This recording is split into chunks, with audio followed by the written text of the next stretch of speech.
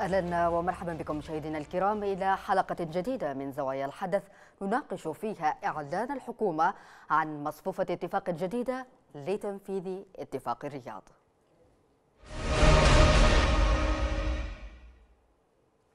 أعلنت الحكومة اليوم عن توقيع مصفوفة انسحابات عسكرية متبادلة بين الحكومة والمجلس الانتقالي المدعوم إماراتيا وعودة القوات المتفق عليها بين الطرفين وفق اتفاق الرياض.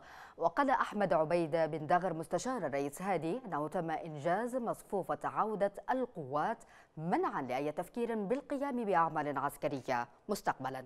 مشيرا إلى أن التنفيذ سيتم خلال الساعات القادمة كما نص عليه الاتفاق. ولفت بن دغر إلى أن اللجان المكلفة من الجانبين منحت فترة تنفيذ لا تزيد عن عشرين يوما تبدأ السبت المقبل. وبحسب المستشار الرئاسي فإن محضر الاتفاق ينص على جمع الأسلحة الثقيلة والمتوسطة من عدن تحت إشراف مباشر من السعودية. وأشار إلى أنه في منتصف الخطة التي يبدأ تنفيذها الساعات القادمة سيصدر الرئيس هادي قرارا بتعيين محافظ ومدير أمن لعدن بعد التشاور. ثمة من رأى في ذلك تكريسا للتمرد في عدن وتجميدا زمنيا إضافيا للمعركة الرئيسية مع الانقلاب في صنعاء والذي قام التحالف لإسقاطه. نناقش ذلك مع ضيوف الحلقة بعد متابعة تقرير الزميل ودي عطا. بعد خمسة وستين يوما من التوقيع على اتفاق الرياض وبينما كان منتظرا الإعلان عن تنفيذ أهم بنوده والتي في صدارتها تشكيل حكومة جديدة وإعادة تشكيل ودمج قوات الأمن والجيش وتعيين محافظ ومدير أمن للعاصمة عدن. يفاجأ الجميع بالإعلان عن مصفوفة جديدة لتنفيذ الاتفاق نفسه. مراوحة في المربع نفسه. بل يمكن القول إن الطرف الانقلابي أعاد تموضعه في عدن وأبين وتعزز تسليحه عبر الإماراتيين في شبوة ما يجعله أكثر استعدادا لجولة حرب جديدة. الحكومة الشرعية وعبر المستشار الرئاسي أحمد بن دغر أعلنت توقيع مصفوفة انسحابات عسكرية متبادلة بين الحكومة والمجلس الانتقالي المدعوم إماراتيا وعودة القوات المتفق عليها بين الطرفين وفقا لاتفاق الرياض. بن دغر الذي كلف برئاسة لجنة الإشراف على تنفيذ هذه المصفوفة قال إن التوقيع عليها من شأنه منع أي تفكير في أي أعمال عسكرية مستقبلا. لافتا إلى أن اللجان المكلفة بين الجانبين منحت مهلة لا تزيد عن عشرين يوما تبدأ من يوم غد السبت. خلالها سيتم تنفيذ صفقة تبادل أسرى بين الشرعية والمتمردين كإثبات حسن نوايا. وبموجب محضر الاتفاق على هذه المصفوفة فإنه سيتم جمع الأسلحة الثقيلة والمتوسطة من عدن تحت إشراف مباشر من قوات الواجب السعودية. الأمر يثير التساؤل عن مصير آلاف القطع التي جرى تهريبها من عدن إلى معسكرات تتبع المتمردين في أبين والضالع ويافع. مراقبون رأوا في هذه المصفوفة خطوة لشرعنة التمرد أكثر منها تسوية كونها تعزز نديته للشرعية إضافة لكونها خطوة تجمد المعركة الرئيسة مع الانقلاب الحوثي في صنعاء والذي من أجله أصلا قام التحالف.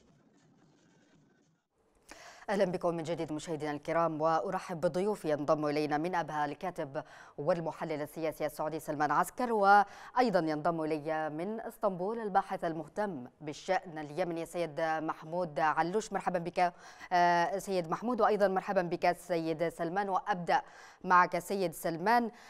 بعد مرور 65 يوم تقريبا على اتفاق الرياض الحكومة تعلن عن مصفوفة لتنفيذ الاتفاق. ما الذي يجعلنا بحاجة لمصفوفة تنفيذ مع أن بنود الاتفاق كانت واضحة؟ بداية أحييك سيدتي وأحيي ضيفك من أسطنبول وأيضا السادة المشاهدين. أهلا. بالحقيقة يعني أنا لا أجد مبرر لهذه المصفوفة التي أطلقها بن دغر. هل يعالج السقم بالسقم؟ أو يعالج الداء بالداء. هناك اتفاق واضح وصريح وهو اتفاق الرياض الذي جرى بين الحكومة الشرعية والمجلس الانتقالي وحدد بفترة زمنية معينة في حينها. للأسف أن الحكومة الشرعية لم تطبق أو لم تبدأ في تطبيق بنود هذا الاتفاق فعليا على أرض الواقع. والآن هي تتمادى عبر بندغر لوضع مصفوفة لا أعلم ماذا يراد منها وإلى أين ستتجه بالحلول أو بالاتفاقية التي حدثت في الرياض. الأمر واضح وصريح وليس هناك آه، جدل أو أمر يدعو إلى وضع هذه المصفوفة التي أطلقها بالدور. بن دور كما نعلم بأنه كان في فترة من الفترات رئيس مجلس رئيس مجلس الوزراء ولم نجد من هذا الرجل حلا واحدا أو تقدم للحكومة الشرعية حتى نقول بأنه الرجل نعم. الذي يمسك مفتاح الحلول. أعتذر على المقاطعة ولكن حسب قولك أنك يفهم من قولك أن المصفوفة قد تكون اجتهاد شخصي من بن دغر المصفوفة كانت برعايه سعودية. أنا لا أتكلم عن فكرة المصفوفة أو هذا الرعاية السعودية من إتفاق الرياض ليست بجديدة من أحمد بن دغر يعني. اتفاق الرياض كان واضح وصريح. نعم. القوات السعودية متواجدة وليست جديدة وليس أحمد بن دغر الذي سيأتي بهذه القوة. القوة أتت وفق الاتفاق الذي حدث في الرياض منذ قرابة 65 يوم. نعم. يعني يجب الا نضلل على الحقائق ولا نقول أنها مبادرة بن دغر نحن نقول أين الحكومة الشرعية التي كان من المتفق أن تعود إلى عدن خلال 20 يوما من قبل شهرين؟ هذا هو السؤال المهم. أغلب وزراء الشرعية غير موجودين على الأرض في عدن يا معين معين عبد الملك رئيس الحكومة في عدن منذ من منذ بعد آه، التوقيع على الاتفاق. يا سيدتي وجود عبد الملك كعدمه بما أنه رئيس لمجلس الوزراء كان من الأحرى أن يحضر وزراءه. كان من الأحرى أن يسير في الطريق الذي رسمت عليه خطة الرياض أو اتفاق الرياض. الموضوع يا سيدتي يهم اليمن ويهم عدن بصفة خاصة. أيضا دعيني أعرج على نقطة مهمة وهي إشارتك إلى أن الرئيس هادي سيعين محافظا لعدن. يعني معليش خلينا الأمر يعني منذ وفاة المحافظ اللواء جعفر سعد رحمه الله وعدن مريضة. نعم. لماذا لم يتم العلاج من حينه؟ يعني من قرابة عامين أو عام ونص عام. لماذا لم يتم وضع حل؟ لماذا لم يتم اختيار محافظ قوي بحجم جعفر سعد؟ أيضا كما نعلم بأن اللواء شلال يسعى في عدن ويعني لا يعلم ماذا يقدم هذا الرجل مدير أمن عدن نعم. بالعكس أن هناك معلومات تؤكد بأن أغلب المشاكل والأحداث الأمنية التي حدثت في عدن كان رأس البلاء فيها هو اللواء شلال. يعني لماذا الصمت؟ لماذا الحكومة الشرعية لا تتحرك؟ لماذا لا تحدث التغيير قبل أن يحدثوا هؤلاء التغيير؟ إذا لم تتحرك الحكومة الشرعية بجدية وفعلية على أرض الواقع وإلا عليها أن تلتزم التغيير من هؤلاء. نعم. الآن منهم في عدن يعبثون بصراحة ولا يلتزمون بالمواثيق ولا يحترمون الاتفاقيات. بالأمس كنا نشتكي من الحوثي ومن أساليبه القذرة في نقض المواثيق وعدم الالتزام بالمعاهدات. الآن للأسف نجد البعض وأنا أقول البعض حتى لا يغضب الكل يمارس ذات الأسلوب ويعمل ضد الشرعية. ويطعن في الشرعية. وفي المقابل نجد الشرعية في سبات. في نعم. سبات. أين هي عن التغيير من وقت مبكر؟ نعم. بن دغري الآن يعني يعني هذه القرارات التي يحاول أو هذه المصفوفات التي ماذا يريد في الأخير يعني؟ نعم. اليمن ليست بحاجة إلى مصفوفات بن دغري يا سيدتي. صحيح. اليمن بحاجة الشرعية ممثلة بالرئيس هذه هي في السعودية. سيد سلمان سأعود إليك. اسمح لي لأن آه، آه، أنقل التساؤل إلى آه، ضيفي محمود علوش الباحث بالشأن اليمني. مرحبا بك مجددا سيد محمود. إذا كما استمعت لحديث السيد سلمان يقول أن لا يحترم ولا يتم الالتزام بالمواثيق والاتفاقيات من قبل طرفي الموقعين على الاتفاق كيف يمكن فهم الإعلان الآن عن مصفوفة اتفاق لتنفيذ اتفاق لم يتم تنفيذه بمدة محددة زادت عن الشهرين؟ تحية لك وتحية أيضا لضيفك الأستاذ سلمان وأيضا لمشاهديك المحترمين. يعني طبعا نحن آه، مضى أشهر على آه، إعلان الاتفاق بين الحكومة الشرعية والمجلس الانتقالي وحتى الآن لا يوجد هناك ما يوحي أو ما يشير على الأرض بأن الاتفاق تم تنفيذ جزء كبير منه أو حتى جزء قليل منه. للأسف لازلنا في مربع الصفر. لعل أهم شيء يمكن الآن أن يدعو للتفاؤل هو أنه لا توجد لا يوجد صراع مسلح في جنوب اليمن. لكن هذا لا يكفي. لابد من أن تكون هناك خطوات لتنفيذ الاتفاق على أرض الواقع. الآن استمعنا إلى الإعلان الجديد من السيد أحمد بن دغر عن المصفوفه آه، أنا أعتقد بأنه هي محاولة ربما لتنفيذ الاتفاق في من خلال البحث عن اتفاقات وما يشبه مصفوفات أخرى لكن هذا قد لا يفي بالغرض. لابد أن يكون هناك دور واضح في الحقيقة الحكومة الشرعية وحتى المجلس الانتقالي آه، لا يكفي أن يكون آه، آه، نيتهما متوفرة أو غير متوفرة سواء لتطبيق الاتفاق أو لعدم تطبيق الاتفاق. هناك دور مهم للتحالف العربي. المملكة العربية السعودية هي من تقود هذا التحالف في اليمن وبالتالي لابد أن تلعب دور واضح في في سبيل تنفيذ هذا الاتفاق لأنه كلما طال أمد الأزمة طال أمد الأزمة في جنوب اليمن كلما بات من الصعب على الشرعية أن تواكب آه،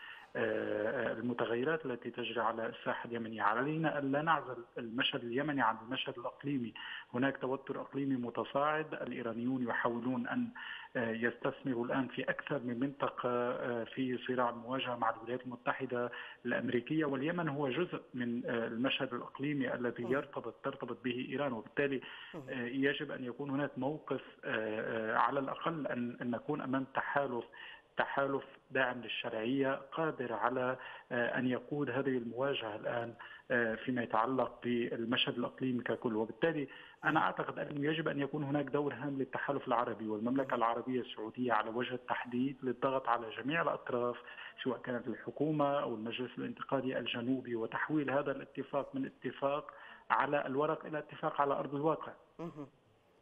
سيد محمد. إذا اسمح لي أن أنقل هذه النقطة إلى آه، سيد محمود. اسمح, لي أن أنقل هذه النقطة إلى سيد سلمان. إذا آه، سيد سلمان يقول آه، سيد محمود أن الدور الآن بيد التحالف هو من يرعى هذا الاتفاق وهو من أوجد هذا الاتفاق وهو من بيده أن يجبر طرفي الاتفاق على التنفيذ. ما مدى قدرة الجانب السعودي خاصة على إلزام الأطراف بالتنفيذ. يعني معليش الجانب السعودي عندما يشار إليه المملكة العربية السعودية أو حتى التحالف العربي ما قاموا به بصراحة هو تقريب وجهات النظر. وهو عقد لقاء بين الطرفين مثلا الحكومة الشرعية فخامة الرئيس عبد رب وهادي منصور وأيضا المجلس الارتقالي آه، تم اللقاء وتم الخروج باتفاق مصالحة. جرى بوساطه سعودية ومشاركة تحالف الدفع الشرعية في اليمن. آه، هذا الاتفاق يعني يستند إلى عدد من المبادئ أبرزها الالتزام بحقوق المواطنة وهذا هو المهم الكامله ونبذ التميز العنصري أو المذهبي أو المناطقي وفقا للحملات أو إيقاف الحملات الإعلامية المسيئة. في الحقيقة أن مثل هذه الأمور تم تجنبها حين الإعلان الاتفاق الرياض. ولكن الأمر الأهم من ذلك وهو البدء في الخطوة الثانية وهي تواجد الحكومة الشرعية على الأرض في اليمن أيضا إلى بدء تسليم السلاح ما شابه ذلك هذه الخطوات للأسف لم يبدأ الأخوة لا في الحكومة الشرعية ولا في المجلس الانتقالي تنفيذها. أنا لست بحاجة إلى نبذ التمييز المذهبي والمناطقي وإيقاف الحملات الإعلامية والاستمرار في تملك السلاح لكل طرف في عدل. لن نوصل إلى حل. هو المشكلة التي حدثت في اليمن هو السلاح ما أصبح السلاح بيد القريب والبعيد الصغير والكبير من هو ضد الشرعية ومن هو ضد اليمن.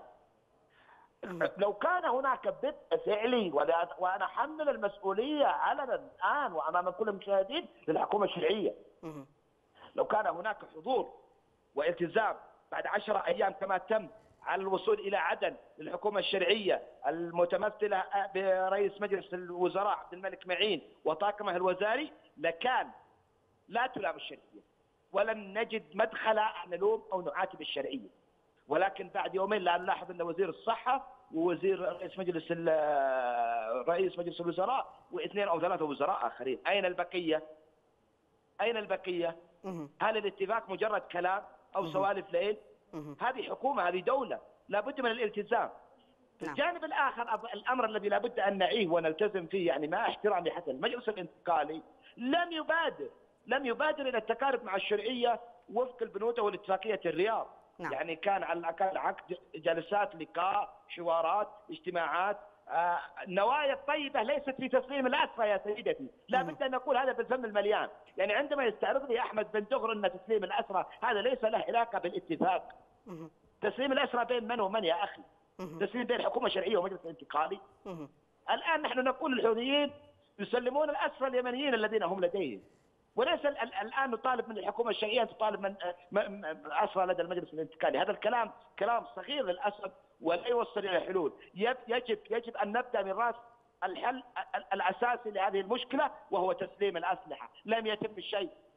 بالحديث عن أنا أتفق مع يعني جزئيا مع الجانب ولكن يجب الا نحمل المملكة العربية السعودية كل الحمل أو العبء، المملكة العربية السعودية في الأخير دولة قدمت ما لديها من وساطة ومن تقارب ومن لتقارب وجهات النظر من وضع حلول وما شابه ذلك ولكنها لا تملك عصا موسى.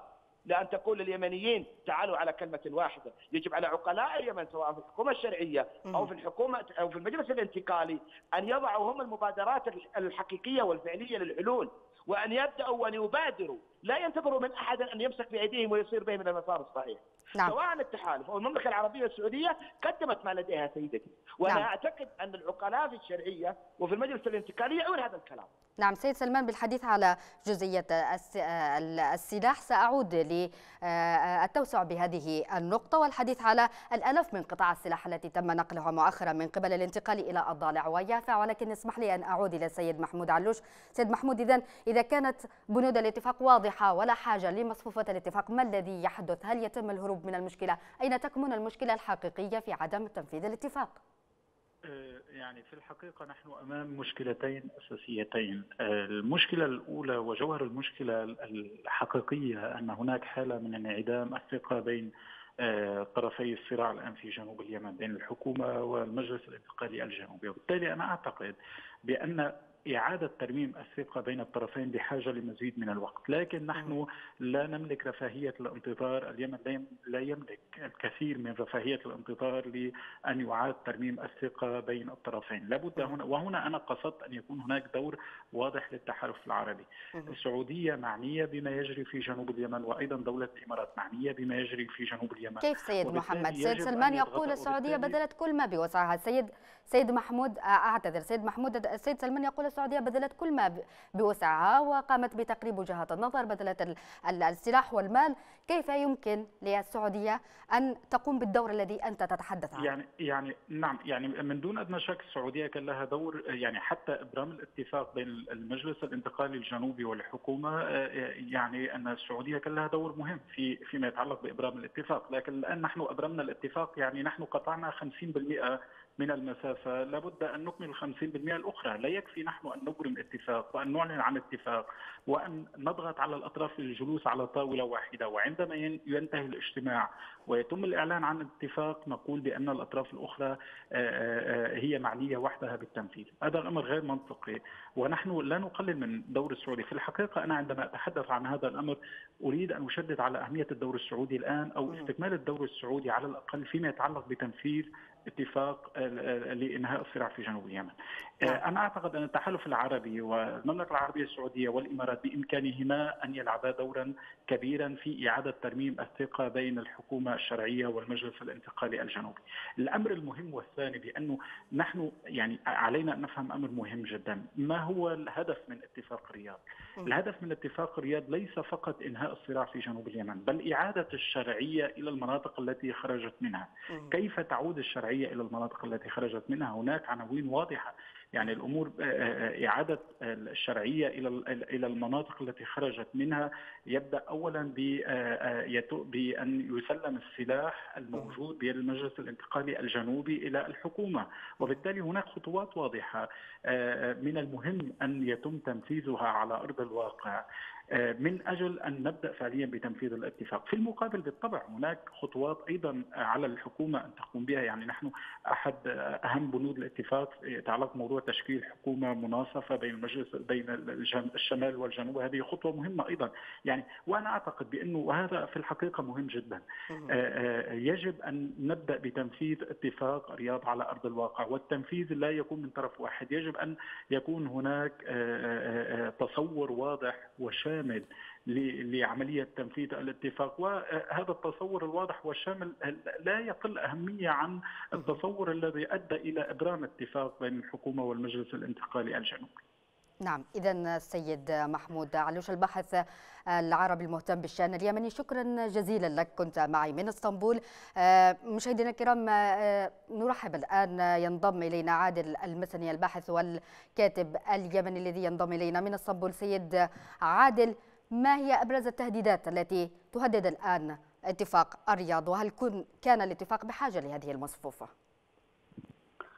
في تصوري أنه غياب الجديه من قبل دول التحالف. هو أكبر عائق أمام اي أمام هذا الاتفاق، لا يبدو أن هناك يعني رؤية واضحة اولا للتحالف ولا نية أيضا لتنفيذ هذا الاتفاق وهذا يعني واضح من خلال هذه الفترة الطويلة التي مرت دون أن يكون هناك يعني إجراءات حقيقية على الأرض. الأمر الذي يعني يعطي مؤشرات حقيقية بأن التحالف لا زال على على موقفه القديم من الشرعية، خاصة أن هذا التحالف هو الذي يعني جاء بهذه الميليشيات لتكون بديلا عن الشرعية، أما أما بعض اليمنيين في هذا الاتفاق على اعتبار أن هناك منعطف أو متغير في الموقف السعودي قد أيضا يلعب دور في حلحله الأمور في المناطق المحررة. وبالتالي أيضا يرمم العلاقة في يعني مع الشرعية، لكن يبدو أن هذا الوقت الطويل الذي مر دون أن يكون هناك إجراءات حقيقية تنفيذية على الأرض يعني بدد هذه الشكوك، لا يبدو أن هناك رغبة حقيقية لدول التحالف في امتصاص الأزمة في المحافظات الجنوبيه. التحالف بيده مقومات تنفيذ هذا الاتفاق إذا إذا وفرت الإرادة السياسية، هذه الميليشيات هي صنيعة للتحالف وبالتالي هي من يعني تتلقى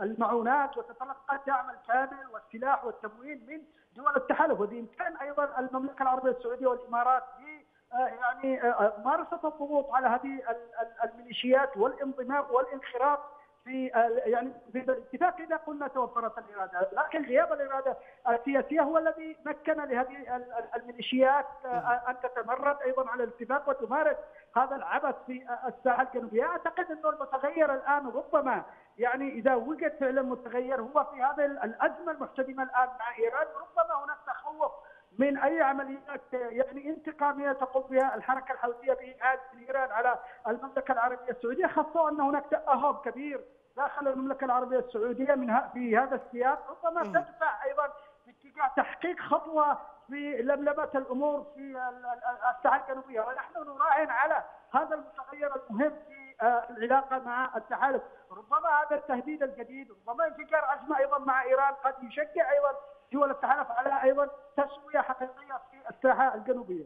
نعم سيد سلمان إذا العودة أخيرة إليك. ركزت في حديثك عن عدم عودة الشرعية وكانت مرتهنة عودة الشرعية بتسليم السلاح من طرف الانتقالي وخلال الشهرين التي تلت توقيع الاتفاق. الانتقالي هو كان صاحب الكلمة الأقوى وصاحب القوة في في عدن و قام بتهريب آلاف قطع السلاح الثقيلة والمتوسطة إلى الضالع ويافع كيف يمكن فهم هذه التصرفات؟ شيء شيء طبيعي أن يحدث مثل هذا الأمر. شيء طبيعي جدا. رغم أنني لا أملك دليل حتى أتكلم في هذه النقطة ولكن أقول مثل هذا جائز أن يحصل ويحصل أكثر. أنا كنت يا سيدتي وتذكرين في لقاءات سابقة معكم. كنت أهاجم المجلس الانتقالي برئاسة اللواء عيدروس وكنت أوجه لهم يعني بصراحة أشد أنواع الكلمات والعتب والغضب من التوجه الذي قاموا به. لماذا؟ لأنهم أحدثوا بصراحة أو خرجوا في وقت لم تكن اليمن بحاجة لخروج هذا المجلس الانتقالي. وكنا نحمل المجلس الانتقالي كل الأعداء والمشاكل وما حدث في الجنوب. الآن يعني مع احترامي للحكومة الشرعية كان من المفترض أن يتم تعيين وهذا وفق بنود الاتفاق الرياض سيدتي آه، قادة أمنيين في الجنوب أيضا محافظين وكان ينتظر من الرئيس اليمني أن يعين محافظ ومدير الأمن محافظة عدن خلال 15 يوم من تاريخ التوقيع على الاتفاق. كما يتم تعيين محافظين لأبين والضالع خلال 30 يوم. الأمور يعني يعني التأخر للشرعية يعني الآن بالله بالله عليك يا سيدتي. الاتفاق كان في 5 نوفمبر 2019 نيجي الآن ونقول بنعين محافظ ومدير أمن العدن بعد بعد بعد كم وقت. اذا التخاذل هو من الشرعيه أنا أعلم يقينا بأن البعض سيجري اتصال أو يتكلم معي من الأطراف الشرعية بعد تربطنا علاقات طيبه معه وسيقول يا أخي أنت تحمل الشرعية أنت تحمل الشرعية. يا أخي أنا أحمل الشرعية. أقول أن الشرعية تصير كس الحصى، لا تلتزم بمواعيدها أو باتفاقياتها أو بالعهود التي تضربها، الرواتب عند يعني معليش عبد الملك معين وهذا الرجل يعني بصراحة لا أعلم أين وجوده من الاعراب. ماذا قدم لليمن؟ أو ماذا قدم بعد عودته؟ لذا لذا لا لذا لا يجب الا نتوقع أفضل مما كان. ما يحدث الآن سواء من تهريب الأسلحة إلى الضالع أو ابين أو غيرها أمر طبيعي في ظل وجود انفلات أمني في عدن. الأمن في عدن لم يعد إلى استقراره. الأمن في عدن يعني بصراحة منذ سنة ونصف السنة الوضع مخيف جدا. الأمور ماشية بالبركة. فلذا لا نستغرب أن تهرب الأسلحة، ولكن هو السؤال الذي خلف هذه هذا الأمر والذي يجب أن نتساءل عنه جيدا، لماذا تهرب الأسلحة؟ وما هو المغزى من تهريبها؟ وما هي الأهداف التي ستستخدم لها لاحقا هذه الأسلحة؟ أخشى أن يكون هناك فتنة أكبر مما حدث في عدن خلال الفترة الماضية. أخشى بأن هذا التسيب وهذا الإهمال وهذا الضياع سيضعنا على مفترق الطرق. لذا أنا أقول وأكرر وأطالب من حكومة الشرعية اليمنية أن تتقدم خطوة للأمام وأن تبادر بشكل عاجل لمعالجة تأخرها خلال الأشهر الماضية. نعم. لأن كل تأخر حدث هي تتحمله. وضحت الفكرة سيد سلمان. وضحت الفكرة. نحمل المجلس الانتقالي. شكرا جزيلا لك. وضحت الفكرة سيد سلمان عسكر المحلل والسياسي السعودي. كنت معنا من أبها. شكرا جزيلا لك. إذا عودة أخيرة إليك السيد عادل المسني. وباختصار هل فعلا الشرعية هي من بيدها أن تتقدم خطوة لتنفيذ الاتفاق؟ ماذا أيضا بالنسبة لرئيس الحكومة الذي بدأ البعض باتهامه بالتمرد على الرئيس؟ لا أنا في الحقيقة احمل المسؤوليات لأنه هو من يمتلك القرار في الساحه الجنوبية وأيضا الميليشيات التابعة له. الشرعية لو بيدها يعني مقاليد الأمور لسحقت هذا هذا الانقلاب ولا ما سمح ولا ما سمحت بهذه الفوضى في المحافظات الجنوبية. الشرعية في الحقيقة يعني قاتلت وحشدت يعني عساكرها في طريق إنهاء هذا الانقلاب لولا التدخل الإماراتي ومن ثم أيضا الاتفاق الذي حسم هذا الحسم العسكري وبالتالي من يدير هذا الاتفاق هي برعاية المملكة العربية السعودية ومن أيضا له مصلحة في عرقله ضغط الدولة في هذه المحافظات هي هذه الميليشيات التي تمتلك السلاح والقرار. في هذه المحافظات القلبية، بالتالي هي تعطل وتعرقل أي خطوة في طريق يعني آه، إحلال السلام والاستقرار في هذه المحافظات والتي قد ينشأ عنه يعني استعادة مؤسسات الدولة في هذه المحافظات، هذه الميليشيات تعتاش على هذه الفوضى وهي ممولة في الحقيقة من قبل الإمارات ولديها أجندات واضحة منذ البداية وهي منع عودة الشرعيه إلى هذه المحافظات.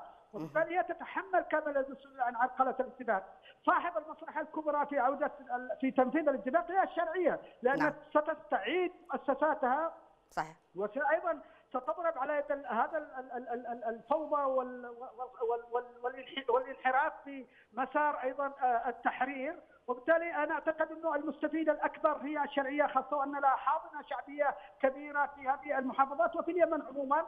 وبالتالي استعادة آه، يعني هذه المؤسسات وهذه المحافظات وتمكينها أيضا من المحافظة المحررة سيكون نقلة كبيرة في آه، يعني آه، يعني تمكين الشرعية من مؤسساتها. وبالتالي تعمل هذه الميليشيات على منع عودة الشرعية بإعادة أيضا من دولة الإمارات. المستفيدة من الفوضى والخراب وعرقلة نعم. الاتفاق. شكرا جزيلا سيد عادل المسني كنت معي من اسطنبول شكرا جزيلا لك إذا مشاهدينا الكرام بهذا نكون وصلنا إلى نهاية هذه الحلقة. لا يسعني بالأخير إلا أن أشكر ضيوفي. كان معي من أبها الكاتب المحلل السياسي السعودي سلمان عسكر وكان معي من إسطنبول الباحث المهتم بالشأن اليمني سيد محمد علوش وكان معي أيضا من إسطنبول الكاتب محمود علوش وكان معي أيضا من إسطنبول عادل المسني. الشكر هو موصول لكم مشاهدينا الكرام على حسن المتابعة وهو لكم من زميل معد هذه الحلقة الزميل وديع عطا نلقاكم على خير في حلقة قادمة. كونوا في أمان الله.